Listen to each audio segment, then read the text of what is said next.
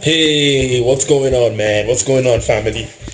It's your boy Adewale, man. I'm back at you guys with another boxing talk today, man. Like, um, today is a, is a especially exciting day for me because um, Femi Oyeleye scored a fifth round KO. That's what happened, man. His fight with um, um, Jose Ramon bro, I'm always forgetting those guys' names, man. Those Mexican guys, to be honest. But yeah, man, this fight with the Mexican dude yesterday, um, May 11th in Tijuana, um, Baja, California. Excellent fight, man. Like, um, first of all, I'm just gonna quickly um, give a quick breakdown of what happened. So in the third round, Femi caught um, um, Jose with a wicked left uppercut, man. Femi is a southpaw stance fighting guy, right? Just have that in mind. And um, this guy was coming in, I think it was in the middle of a combination, and Femi just threw that uppercut like, whew, boom. That homeboy went down, man, clean. That was the first knockdown that Femi scored. And then right from the first round of the fight, he was already touching this dude all over. Like, um, the dude seemed like a good fighter too, man. I mean, he kept on coming, he kept on coming, and he wasn't backing down. And um, for some reason, I don't know, man. He looked good. He didn't look like his record states because he currently has um, seven five and one. He took another loss yesterday um, from Femi, and prior to that, it was seven four and one, right? But his performance in the ring seemed a little bit good, even though I can't even give the guy any round out of the five rounds that the fight lasted.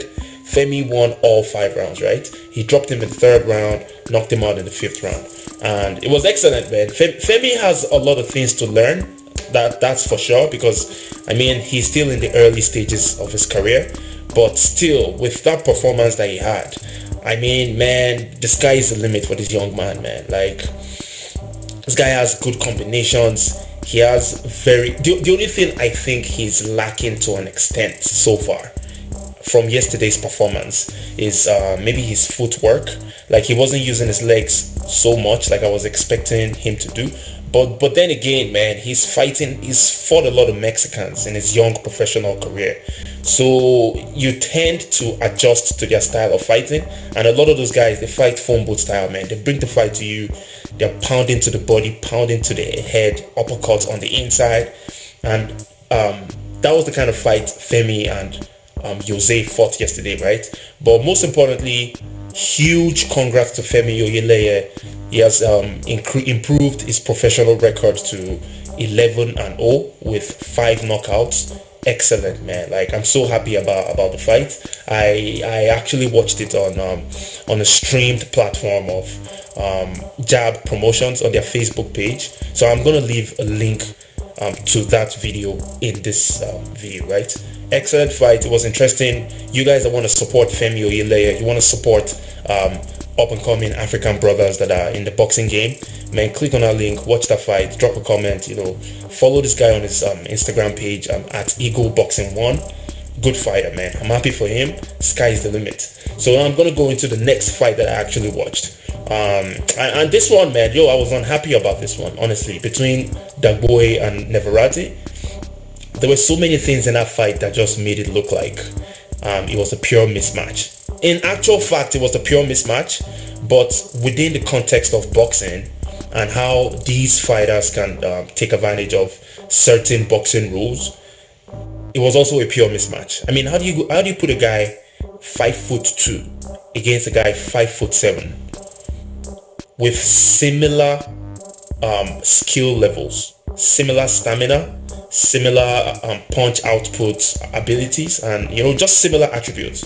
The only difference between these two guys is one guy is way bigger than the other guy. So those are the ingredients for a pure mismatch, and that's exactly what happened in that fight between um, Dagboe and Navarrete. I feel like Navarrete, he shouldn't be fighting in 122 pounds, but he's able to make the weight according to the rules of sport of boxing. You know, when it comes to the um, um, day before fight weigh-in or 30 days before fight weigh-in, all those kind of stuffs um, depends on what sanctioning body um, body's belt you're fighting for, right?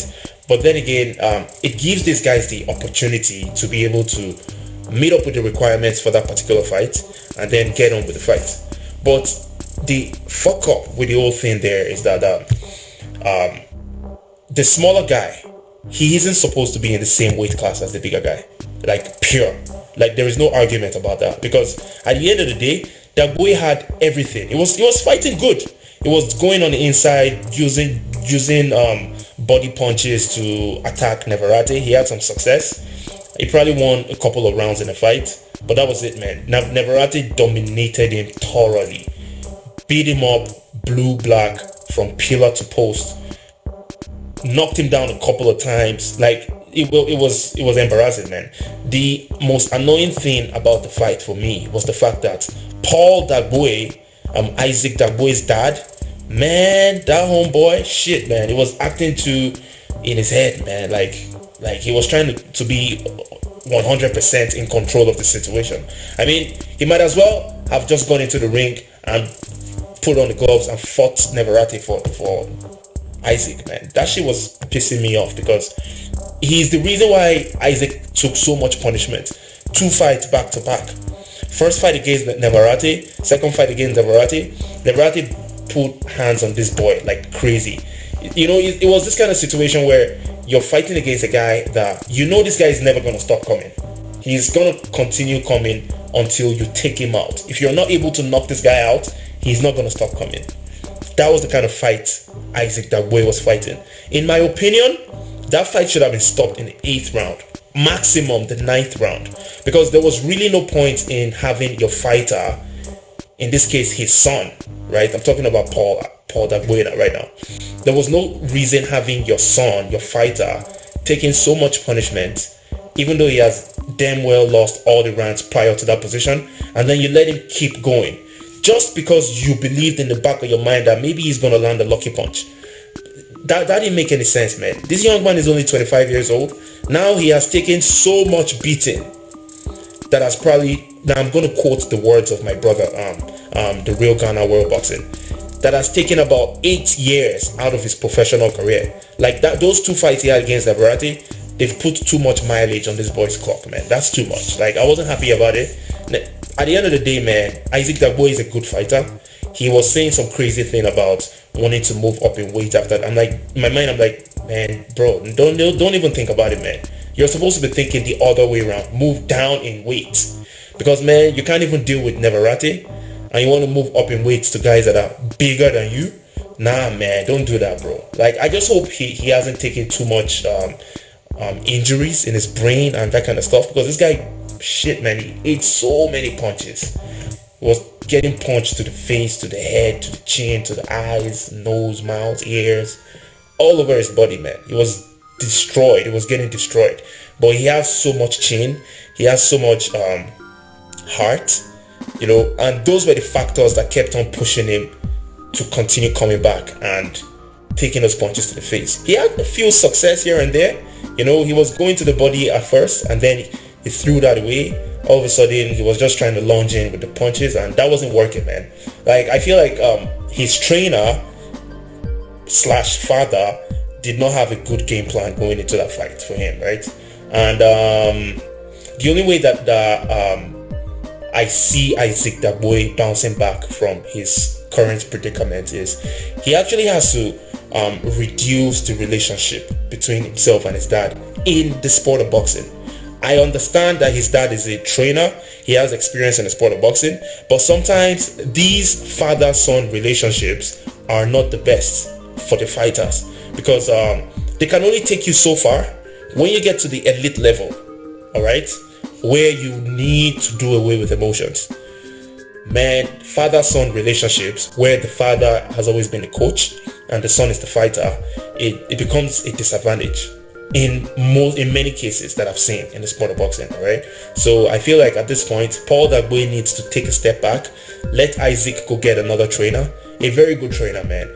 Get another trainer, get a proper game plan, and man, if you're going to remain in that division, man, you have a lot of work to do to bounce back, bro. That's just the truth. But man, I still support Isaac Dagboe. Dagboe um, congratulations to Navarrete. He did what he had to do to secure the victory, and that's the most important thing, right? And then the third fight was between Jarrett Hurd and J Rock Williams. Man, man, I also seen that fight at the end of the day. Shit, that was a good fight. That was a very good fight, man. Fight of the year candidate. I'm assuming that fight is going to win one of those nominations and stuff because it was entertaining all through, man. J. Rock Williams, a lot of people have been sleeping on this dude, but man, no, the guy is the truth, man. Like he made J- Jarrett Hurd look like a regular guy, you know. Jarrett Hurd didn't look like the Jarrett Hurd that I thought it was. And you know, this is one of the things that makes the sport of boxing really interesting. When you're unable to um, really um, pinpoint one or two people that are head above shoulders the rest of the division, that makes it better, man. If you have a high level of competition amongst the top guys in the, in the division, right? And then the guy that you think is the best, he takes a loss to another guy, and then you think that other guy is the best, and that other guy takes another loss to someone else that just makes the sport of boxing interesting, right? So right now, arguably, I can say the 154 pound division is one of the best, one of the most exciting in, in, in boxing, just because, first of all, we had it as um, Jarrett Hurd, that he was the best guy in the division. And then some other people had it as Jermell Charlo. Charlo took a loss to Tony Harrison. Now it's like Harrison is one of the best guys, right? And then Hurd took a loss to J. Rock Williams. So now it's like J. Rock Williams is the best. I, I don't know, man. Anybody has a chance to be the best right now, right? It's between, it's still amongst those four, five, six guys. You know, Hurd, Williams, Harrison, um, Charlo, even um, this guy, uh, Lara, Erislandy Lara, and um, Jamie Munguia. I don't know what's up with him, man. Guys in that um, top rank, guys that hold the WBO title, period.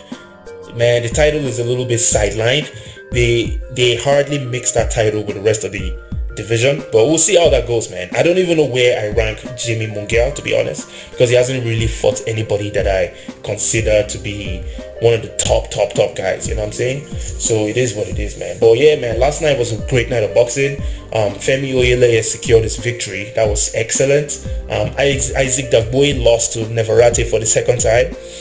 That was sad to see but congrats to Navarrete. He did what he had to do to win. And Isaac Dagboe, in my opinion, he needs to absolutely overhaul his team. His father needs to take a step back from his career and let that boy progress, man. Why, why do you put that guy through so much punishment? And then at the end of the fight, um, Dagboe is about to talk on the post-fight um, interview inside the ring, and the father is stepping up there trying to tell him what to say. I'm like, bro, man, why didn't you just stop the fight earlier? Why are you trying to make what why are you trying to have full control of this guy's life? And it's it's totally understandable, man. He's your son, so you're emotionally attached and you're trying to um, have the best situation for him, but you're not doing it the wrong the right way, man. You need to go about it in a better fashion, period.